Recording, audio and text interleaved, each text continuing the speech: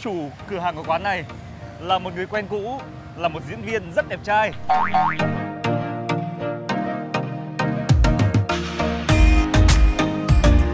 quy trình mà để làm ra một bát bún như này thì mình phải nói đúng ra là nghĩa đen là phải quậy liên tục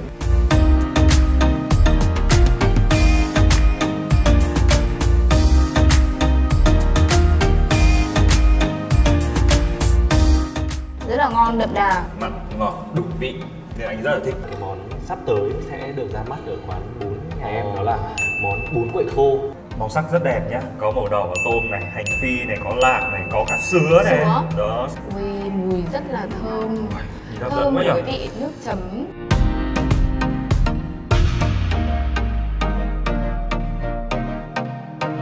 Mời quý vị cùng đón xem chương trình Điểm hẹn cuối tuần được phát sóng vào lúc 17 giờ thứ bảy ngày 24 tháng 9 trên kênh Style TV VTV Cap 12.